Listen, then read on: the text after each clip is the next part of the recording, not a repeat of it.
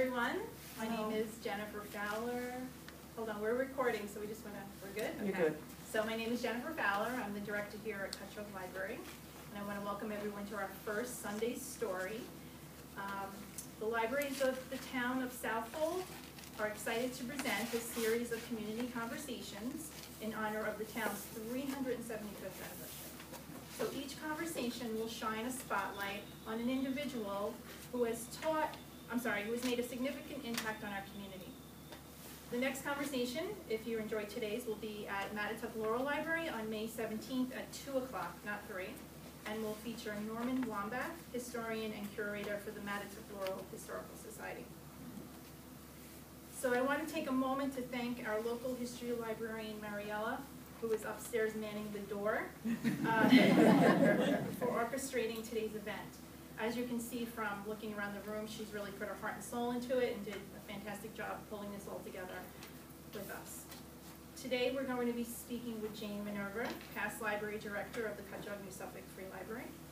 And as you know, our library is celebrating our hundredth anniversary this year, so we could not think of a more perfect person to be our speaker today. Hundred. I told you it was perfect, right? So I just want to tell you, the first time I heard of Minerva's name was many years ago. I was taking a class full of students who were hopeful future library directors.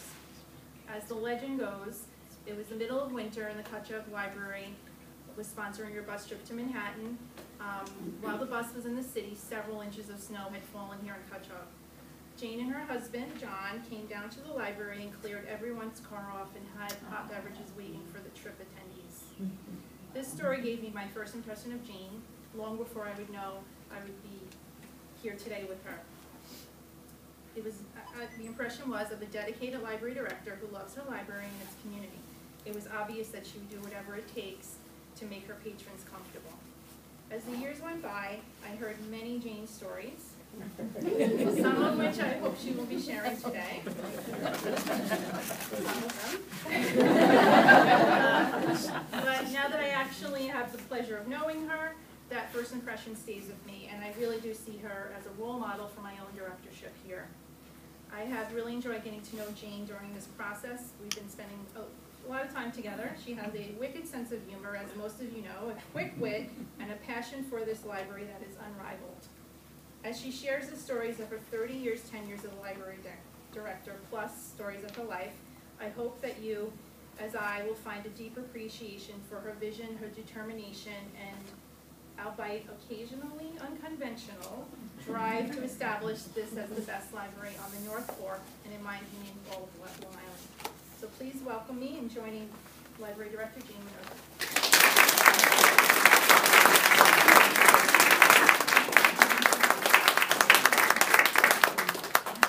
So we're being recorded.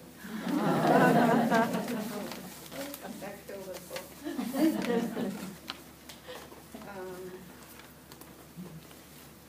I was going to just freelance, but I had so to say that I decided I would put them into a text, which I read to my husband this morning and said, what do you think? And he said, it sounds like a long obituary. That's John. And then he went out and pulled his boat out. Okay.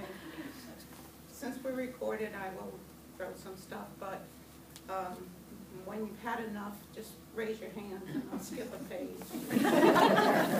This is large print because the macula's coming here. Okay. I'm not sure why I'm here. I feel like Hillary Clinton trying to resurrect my life. Indeed, there is no need. Time is short and the water has risen. I asked that I not be recorded for the talk and was denied. It's history, so I'll be careful in what I say and do just for the record. Mm-hmm. Early on in my personal history, I was always onward, obsessive, compulsive, positive, and all those other things. I grew up in Lynbrook, a German-Irish family, lots of good food, noise, competition, loyalty, and parades, and God bless America. Music was a big part of our lives. My dad in military bands, mom playing classical piano, all singing in church and school choirs. In high school, I was in variety shows. I was Annie with the gun. And when I didn't sing, I accompanied. I also played clarinet in the band, which allowed me to play in Patsy Rogers' recording group. You never know. I also played sports, was a cheerleader. I, I don't know whether to throw these things out or not, but, um, the final cheer for everyone was when we would, my, this woman, girl, would do a flat split and I would come running and do a front flip over her. Well, she ended up being my sister-in-law. Okay, leave it at that. President of the Club, the High married very early and happy beginnings. Husband drafted to Korea. We had new babe, a gal born, and we lived with my parents, being baby, he was over there, until daddy returned in two years. No phone calls, I mean, I can't tell you what that was like, No- nothing, communications. I just, in fact, personally, what I'm doing is I, last year I, I uh, transcribed into the computer five hundred and fifty letters from Korea, and we are gonna put them to an R-bound or because we've got seventeen grandkids at this point. Okay, so, we settled in Levittown with all those other people like Bill O'Reilly. And we lived there for five years. Had another fourth baby. Oh, no, that was in Montauk, we had the fourth. baby. We had to move across Southern State Parkway to get our kids in the Catholic school, if you gotta believe this. So we did, and we had the. Okay, mom wanted us to go on vacation, so she booked a cottage for a month in Jamesport. Hallelujah. The bay, I never heard of the East Long Island. Us with our four kids, mom, dad, dogs, visitors, et cetera. I had never been to East End Long Island, I learned a lot about farming, fishing, beautiful landscapes, everything, and wonderful. And when the time came, I refused to go home. And John said, you know, I'll buy you a cottage, and I said, uh, I don't need two houses, go home and sell it, and he wasn't happy, but I stayed, I was age twenty-seven. I rented a bay house front for the winter, put the kids in schools, bought newly available property in Fleet Neck, and if you wanna go into Peoples, that was Fred Kalen's father that I bought that from, and then you start listing all of the Orlowski built house. And we bought Fleet property, okay, so. Ah, a year later, we finally moved into the partially constructed house. We had two bedrooms upstairs that were completed out of five, so I wasn't gonna rent anymore, so we, now we're living in there and using the bathroom as, you know, to wash the dishes in the bathtub and the rest of that. And the- the builders at one point walked off, they said we couldn't.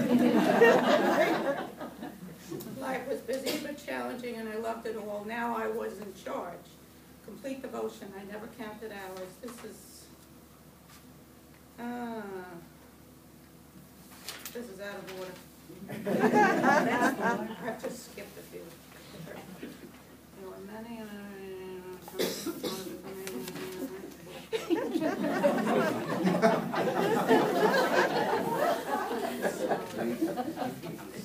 A. We became lovers of the community. I was, we were, became involved in everything possible. I was the Brownie and Scout leader, CYL coach Peggy Dickerson was on my varsity team. I laugh, but these kids are, you know, Congress people by now. Uh, committee renovator at the parish hall, we went in there and my husband and I and the kids were supposed to be playing from the Catholic school and they were slipping and sliding and falling because the roof leaked. So we renovated the whole building. I designed the kitchen and made new curtains and all that kind of fun stuff. Um, poor John, he did everything while commuting daily to Hicksville and his business at Rheingold. There was no Long Island Expressway at that time. He picked up over, his pickup grossed over six hundred thousand miles. But he was also a boat and auto mechanic, and that's the variety of boats we have owned, that's in our driveway now, this one. Hey, guess what? Always in need of a few bucks daily, I packed his travel vehicle with loads of stuff from the local farm stands. And he went to work, plus my jellies, pickles, etc. we had a new business. The guys who worked with the Nassau loved the tomatoes, the corn, the beans, the peaches, and we just doubled the price. It was all packaged. And imagine what we could have done with wine. Actually, I worked for Louisa Hargrave in my spare time, picking their first crop in Cutchogue, part of our team. She was one of our trustees. And actually, when she was having her first baby, they delivered it in the back seat. It was, you know, you gotta live out here. It's just like going crazy little thing. But our business did well, and we put the coins in a big jar and bought our first color TV. And then he absolutely refused to continue and said he couldn't take any more fruit flies on his trip to Nassau Dale. Well, okay, we found other things to keep us busy. We volunteered everywhere. I got a custodial job at the Park District. You gotta hear this one. My son was now a senior in uh, Hersey High, and he needed money. I mean, we were paying tuition everywhere, so he went to the local beach and he was hired uh, to do custodial work and clean the garbage and stuff like that. And then he was also applied at Plum Island, and he was hired there. So he said, Mom, if you just do the, so I had to clean the toilets every day, like for four months. And, uh, and he, when he had this big job over there, aside from going over by ferry and back, he had to pick up the mice and put the boys here and the girls. Great job. Father Henry got me because his fa- family lived right across the street from me, and he knew I could play piano, I, you know, I could also drink wine. Asked if I would try the organ, of course, I could do that too, I had had lessons in Lynbrook when I was twelve. So I bought a hang- Hammond organ on Swap and Shop from Jim Holman, Bruins. You gotta believe all this, and reviewed my abilities, and I took over the ten thirty mass on Sundays, plus holidays, rehearsals, a few weddings. No pay, it's ten years.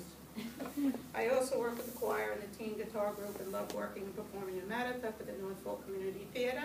There you go again. Mm-hmm. And Southold with the North Fork Chorale. I love public meetings. School, fire department, park district, town, property owners, homemakers.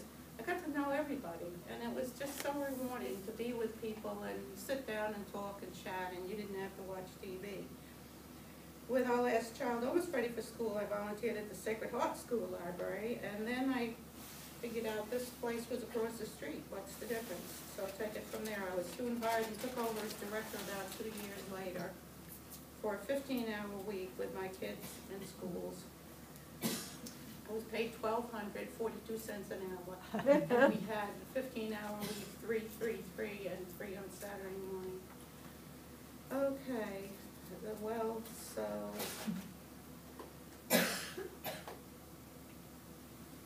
I'm sorry.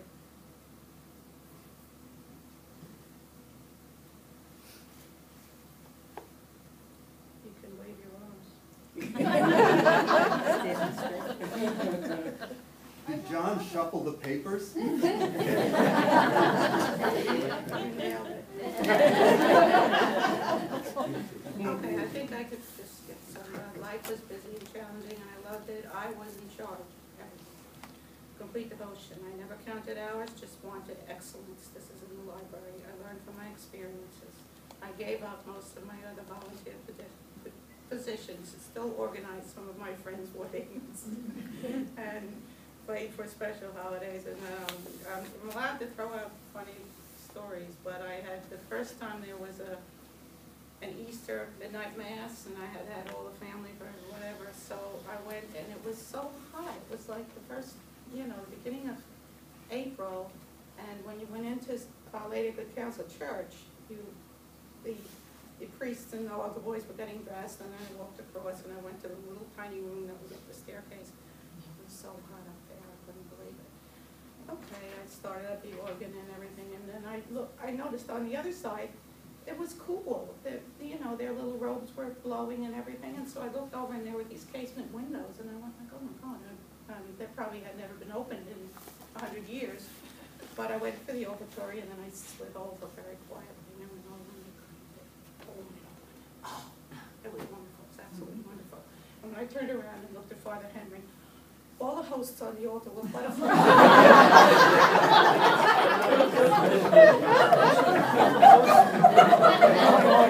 it kind of gave me that. but I think it probably half the people had their But that kind of ended it. I had a key to that church and this church, and so when I left, I let out all the stops, and if they take me out to the ball game, rock the church. Okay, fifteen hours a week was the library, the beginning of my long run, which ended in forty years. And it soon became thirty from fifteen, and the staff increased to a dozen, but very slowly over the years. I never put an ad in the newspaper, I just hired people that I knew in the community, and basically that kicked tax money back into their pockets, which I thought was great. Um, I never advertised, just stuck a sign on the door. Bev came in and she was getting some paperwork for the school in the Silver, and I said, hey, come, I think you would like this, you know? And so that's the way we got everybody, you know, you knew who they were and you were in committees. In the meantime, my mom and dad, who are buried at Sacred Heart, moved in with us. She was Parkinson's, he just retired from the Bell Laboratories, and I give my gifts in life from him. He was a gifted guy. He taught me, he got kicked out of uh, Catholic school in high school because he was a military person in the National Guard. And played trumpet, and he marched with bands, and he got paid, and then he marched with the first band and run to the back, and then marched with another. So one day on a Thursday night, they went and they had a dinner in a restaurant, and he was eating the steak. And, you know, the next day, Friday, in um, the Catholic school, they called him and they said, you ate meat on Friday. Over midnight. So he started working. It was fun. So he started working the Bell Labs. And he went from, smart guy, went from one job to another job to another job. And the last one he had, and then he said he was, he said he was in charge of shipping and receiving. And I said, oh, well, you know, I'm sorry, you know, you had to. Then I read his stuff after he passed away. Yeah, the last thing he shipped was the Hubble telescope from the east to the west coast. And I thought he was pasting stamps. Okay, so I still continue to do other things, like he taught me how to save coins, stamps. He bought me a camera when I was a little kid and taught me how to develop the film, print the picture, pictures and then ferrite, you know, just, oh God. It wasn't anything like, could you give me something, you know? And he had this desk downstairs with all his coins in, which I have now. And then the guy from the candy store around the corner came and knocked on the door and he said, your little girl is spending a lot of pennies with Indian heads, and I thought you ought to know. I knew where they were, I just was taking a few back. So he didn't teach me how to do that. Okay, so then when I'm here, getting sewing, rug making, and running the library, um, I was also writing the Cutchogue column in the Manitouk Traveler until that closed. Uh, running the Sacred Heart Church annual three-day weekend auction and, and he'd bring a Rheingold truck and he would lose more money than I made on, the- on the auction, you know. And then I had a daughter who was going to go away to college and she had wanted, we had a, an old, I don't know, car that don't tell me what it was. Anyhow, we put it in the auction, and she bought it for three hundred and fifty. I told her she couldn't have it. So I was chairman of the Cutchogue Hamlet Committee for the town, then appointed by Scott Russell, a former friend of mine with my kids, and eventually, we knew everybody in town, we all went to school together. And eventually, uh, library board president here, uh, having many Cutchogue Hamlet meetings to ascertain zoning changes and regulations. I terminated when I finally ended up in the local hospital with a stress collapse. Then I was totally dedicated to the library. At age forty, a ten-year program began for me to get a master's in library science from uh, CW Post. I was so embarrassed to be at the bottom of the professional scale, never having been to college. I got my associate degree at Suffolk, my literature degree at St. Joe's, where I went with all the nuns to Europe and got them all drunk. It was not funny. Uh, They time on the plane, because we were coming back from our, not our, we were coming back from Scotland, and we went to the duty-free shop, and they all got and hats and Keatsy and everything. And I bought uh, half a case of duty-free scotch. the the plane. Well, then the plane had a problem with the computers, and we had to put down in Ireland, but they didn't allow us to get off, so I started passing. Then the guys came with the officials and came up the ramp, and they said, "Who is Jane?" No, She did. So that was the fun that I had with them. It to Europe with them frequently. Um, I don't know whether this is worth it, but on another trip coming back, I had to take an elderly lady, this was in Heathrow in London, to a bathroom. She needed, she was a little handicapped, so it was okay. And they were cleaning, so they said, go use a handicap bathroom. So I did, I went up there and she was comfortable and everything, but I couldn't figure out how to flush the toilet. So I pushed this big button on the wall and I set off the, airport emergency. People were running with wheelchairs. You know, so they were like, you know, I, I don't need to do all this.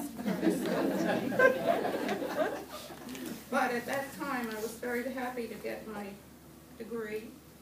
And my cheering grandchildren were in the audience, which was a little embarrassing. They're up to seventeen now. Um, Then I was looking forward to my next, you know, decade, never dull, like running a full-time B and B at home. But I was president of the Suffolk Cooperative Library System Directors Association. This is this dope from Cutchogue, right? The fifty-seven libraries, all at college professionals except me. So six of our staff, while I was fooling around with this, also went and got their library degrees, and I was very, very proud of them, hallelujah. And then I started doing some other stuff, giving classes and stuff. Okay.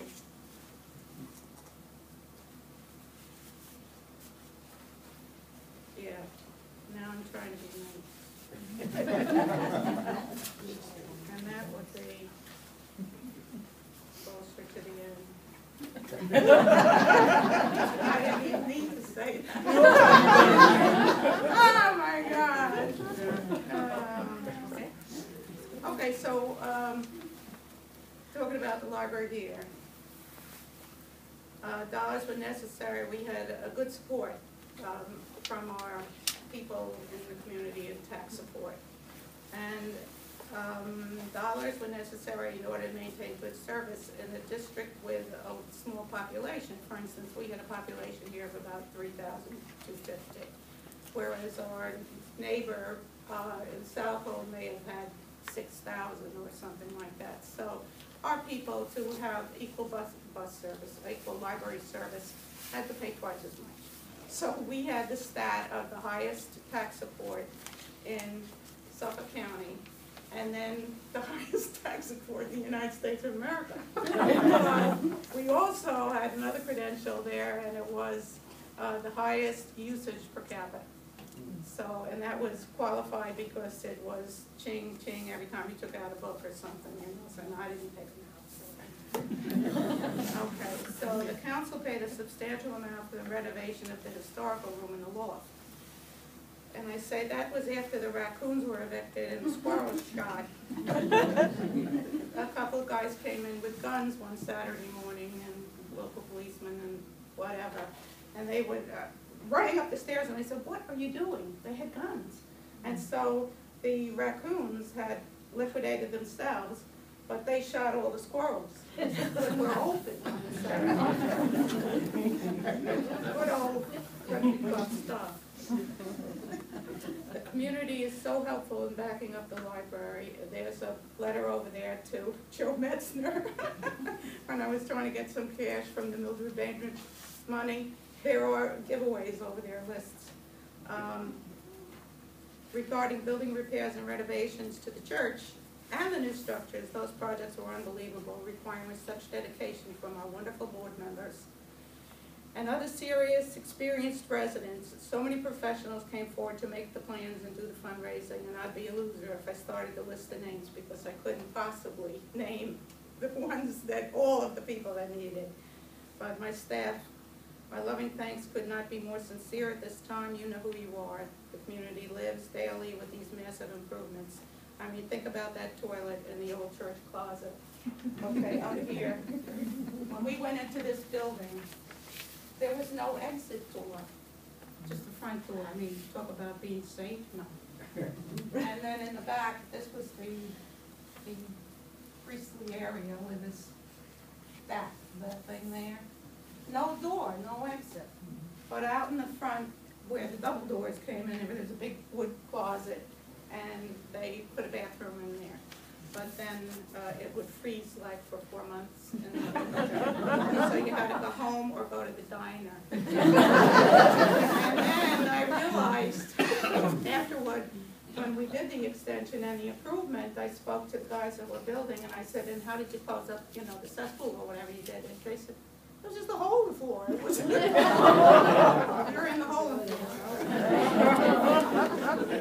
Uh, Essentially, we were, we are all a team. And the more the better. The teams belong to a community, but there is no community without the old teams, okay? They did it, and you gotta keep on that level. Recently, I have been rereading our local books, and Heaven and Earth is starting, It gives the history of the first immigrants coming over from Britain, and this was a British colony. And the first thing they did was bought the church property in Cutchogue. That was the first piece of land that went, because we had a lot that belonged to the Native Americans. And you hear all of this stuff. And then, uh, and that the churches actually were the political places in the community. Yes, they had a town in Southold, a town hall or something like that. But this is why we have this differentiation in, uh, why teach, your church and then we'll build another church and, you know. So anyhow, what happened how this church got built was that in eighteen sixty-one, okay, um, the abolitionists and the minister of the Presbyterian Church, uh, were locked out. And so, can, can you believe this? Across the street, so they bought the property, they built a whole new building with a steeple and all the rest of it. And they were here until around nineteen thirteen, when they were welcomed back to be Presbyterian. All is forgiven. Okay, so then this became a hovel for whatever, you know, the Methodist Church had a big fire and they were in here and so forth. And then uh, this, this minister uh, actually started collecting and sharing books and so forth. So that group of people, and they're all listed on those papers over there, take them home, they're aunts and uncles. And um, that's was, that, that was how it happened, you know? And then eventually, we had to purchase the building, and Mr. Bill Wiggum wouldn't allow it. He was a Congregationalist leader. Um, he, Wendy wrote that we paid a dollar a year, but I never paid a dollar a year, we were freeloaders. We tried and tried and tried, and he would not allow us to purchase the building. So we went and we bought another building, I can't remember what it was, over next to Dick's Larks, the big Greek, brick, um, just telephone building or court, whatever, yes. And then when Bill heard that we bought it, he went like, oh, I'm so sorry, you really should have church. So we went like, yeah, now we gotta go back to the realtor and sell the property and all the fun stuff. And then we had a raffle, and in order to raise money, so we had to go out in the middle of the street to pull it, because we couldn't do unfair things inside of a Christian church, okay? Yeah. So anyhow, uh, we bought it for seventy-five thousand, and then we started over the years to improve and to do whatever we could do. What year did you buy it? What year did you buy it? Good question. I don't know. The eighties. I- I know. The early eighties. Yeah, early eighties. Early eighties, Yeah, early eighties. yeah. It was just slip and slide all the way, it didn't make too much difference what we were doing. Churches were meeting rooms where they made political deci- decisions. Um, when they come out, it was all British, and that's understandable. And the, then the Irish started coming and they built their two churches, and the Polish, and because they came to Cutchogue, this was the most fertile land and had the best fish in America. And they didn't have anything left over there in Britain, so I couldn't believe they were going, you know, back and forth and so forth.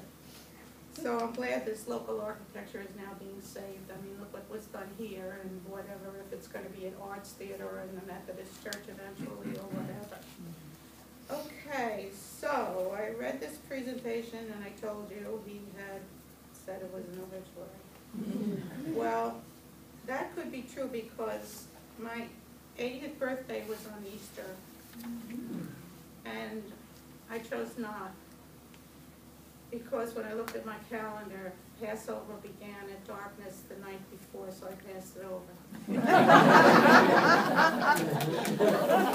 And I'm gonna hang on to the score number.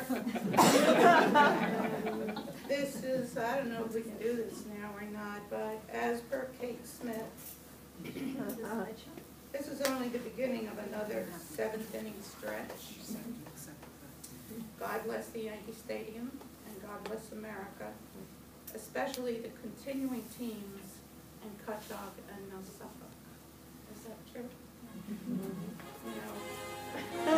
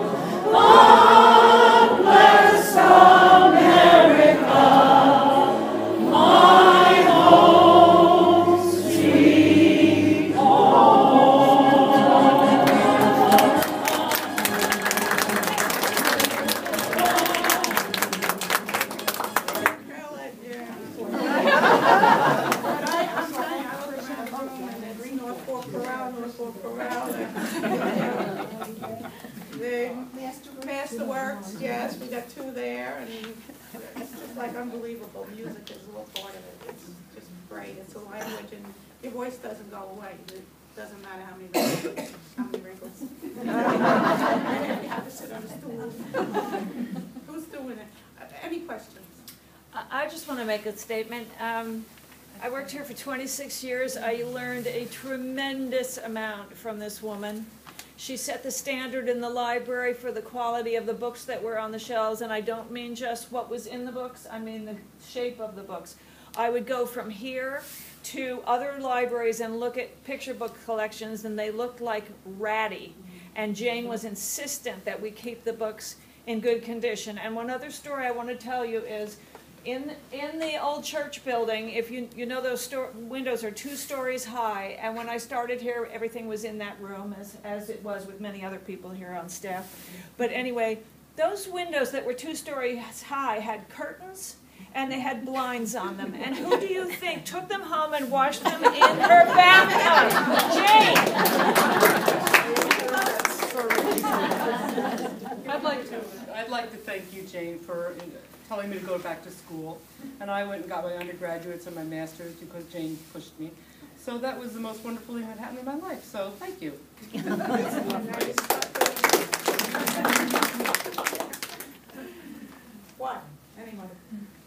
It was very enjoyable, I enjoyed your talk very, very much. Truly.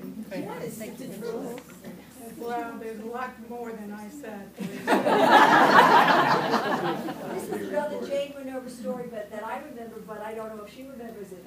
Um, I had just moved down here, and it was 9/11 that year, and she was telling us about, um, what happened, and she said, some man came in, and he said, I have to speak to Jane, um, he said, I was in 9/11, and my office was destroyed with a library book. One paper.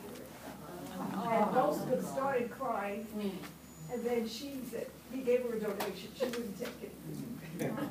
We had about seven deaths with uh, people on Nassau Point. their sons and lawyers, kids and whatever. It was horrible. And these things continue. Um, next question, question, who wants to sing? Yes, ma'am. Yes, I'm a current trustee, and I was just interviewing somebody to be a new trustee. And he said he heard a great story about you, that one way of fundraising was that you used to autograph books in the book sale as if it were from the author.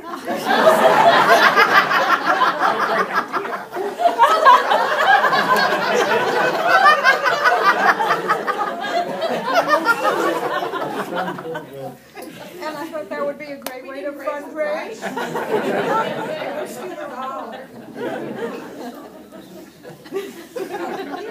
Things became boring. Yes, I did about fifty yards, I mean, whatever they were, book sales, what baby? I have a little story to tell you. Uh-oh, go ahead. My husband took out a movie, I think he saw something very innocuous, like the last of the Mohicans, but he felt it was offensive. So he wrote on the little card, a note to you saying that this kind of movie should not be purchased by the library and so on and so forth. He gave it in, and the next day, Jane came over to him and said, pulled him aside and said, you know, you are in trouble. You have defaced public property. I don't, I don't believe in that. And my daughter, when she was in school, they were editing the old volumes and taking out words like nigger and things like that. And I said, no, you're, you're destroying history. How else can we learn and then understand what the problems are? Yeah. So, poor guy. Did he talk about me on his television show? No? No. Keep trying. All these nutcase things in this room are from my house, and it didn't matter what I bought. If I had a book on it, I bought this, see the book? Over in East Hampton Thrift Shop, it was fifty dollars, and they had a big sign up, anything for your kitchen is half price. I said, I'm gonna keep this in my kitchen.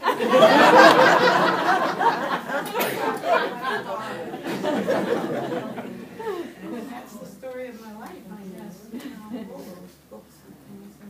Please read, please read about Cutchogue, I mean, the Wickham stories and the different ways of going backwards and understanding the way, how the zonings happened and so forth, and what happened with all of the tribes.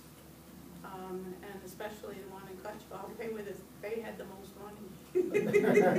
They were making the- out of the shells wampum.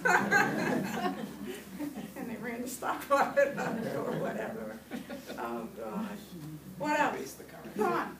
Jane, you wanna show some of the pictures? now? Oh, my God, I forgot about those, okay. Uh, first set are just generalized, you can see everybody and everybody. And the second set, unbelievable, uh, was my anniversary of leaving, thirty-five years, I can't even remember. But where do you see all those people? And you will recognize. Where was this? Uh, these are just in the old building, the old church. See the church bottom, and we blew the back out, that was the first expansion. That's Bill Peters, I spoke to him on the phone this week and told him we would remember him. There's Larry Waits, look at the picture. They were they were having a good time, this was the fundraiser. And, uh, it was at Fife's up on Nassau Point, and they made thousands of dollars. Keep going. Little slower, can we go slower? Yeah, yeah, yeah, just a little. bit. Okay, Yeah. you just tell me. Yeah, Frank Murphy there on your left. Oh, my gosh, and Bill on the right, me in the middle. Where do you see the next one? I'm on the roof. Yeah, I went up because we had to take the steeple, that was one of the biggest things we did, and that was in one of these pages I missed here, but, um, it was, uh, what was the name of it, John? Tiffany. It was a Tiffany. Yeah, it was right. And it fell over, and we had to go up and bring it down and repair it. And I put it in the lobby of the library for a year, so everybody in town could come in and touch it and feel it, and say, that's what it is, you know, and then we put it back up, and then they were re-roofing. But I recently had a guy come to talk to me about it, and he said, uh, is that still up there? I said, yeah. He said, well, watch it. He said, because they're stealing with helicopters. That was our new lobby and good old Jackie Penny's painting. My gosh, what she did for this. There she is with her hubby. And they oh. couldn't get in the car. They had to walk it over. And here she is painting. Look at the size of it. Wow. And she made everything in town on that little thing. And then she was a very good supporter of the library, still is at home. Bill Peters, uh, this was the opening of the extension. And oh my God, I couldn't believe this, but today I went, this is my oldest granddaughter, of all of them. And this was put in, and it was supposed to be with John Wickham, but that's not John Wickham. that's John Wickham is John- on top. Yeah. On the left? The upper one, See, up on the picture. left. Up there. Yeah, he's on the left-hand Okay. person. Well, the new staircase goes across it. Okay, remember. There's Jackie, Yeah. Bill, carry on. Okay, go back to I'll that. go back. Okay, that's uh, Winifred Billard, second from the left, Oh, yeah. and Isabel Ross, Yes. Oh, yeah. Oh, yeah. second from the right, and Bill. And oh my gosh, this was controversial, but we had a guy named Case George on the board, and he had a sheep cutting on the front lawn. Well, that is shearing. Shearing, shearing, sheep shearing. Some people were very upset by that. but- No, uh-huh. it was neat. He lived around the corner. Yeah, He. I saw it. Oh, that's me shoveling the snow. Yeah. It's snowing in springtime. We always have it snow. A full-service oh, library. Oh, There, that's there it where is. They're putting the steeple, taking it down, or, no, it's already up, I guess. Yeah, They're there's working bullet that. holes in that, too. Really? And that was the staircase that we, when we renovated, we put up, and the next renovator took it down. I don't know how we put that many people on it, and it didn't fall down. And that's uh, Louisa Hargrave, and, um. from- Joanne and, uh, Joanne Slotkins. Slotkins. Okay, and Coster, Helen, Yeah. and Bill, Yeah, and, Bill uh, June. Bill? Bill and Jean and Tony DeMayo. Tony Canal. I don't even know what this was, okay. That was the trustees dinner. Uh, I got one more thing to read. That would be, um, keep going. Oh, Friends of the Library now. Oh, yeah, we ran those bus trips all the time, and that's Dot Fitzgerald, she ran the bus trips. That's my son-in-law putting up on the lead.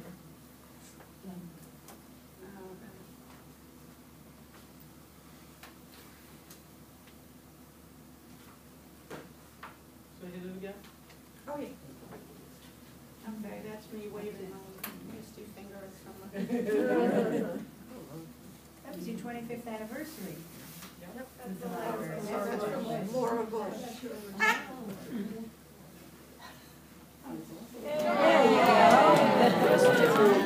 And the. I still have that dress. Liz Burns, Helen, um, Mariella, me, Dorothy Fitzgerald, me, and Jim Fitzgerald. He, he's something else. He's another shaman on Levittown guy. But, um, Monkeys. Okay. Monkeys. Mikey, and that's what I'm looking for, he, there was a beautiful poem he wrote for me. Anybody know? it? Yes. Um, That's a sad screen. Yep, I love her. Howard Mikey. That's Bob Baker, Yeah. second from the left, and Esty died two, three weeks ago. Graham's wife. And that's my son-in-law and my hubby, and, oh, God. There's two more, that's what I told you, everybody, half of everybody in this is passed. Okay, But they all really made life good. Oh, they, Well, heavens. everybody was just wonderful. Yep, it was an opportunity to do good Yes. things. Yeah, that's, Yeah.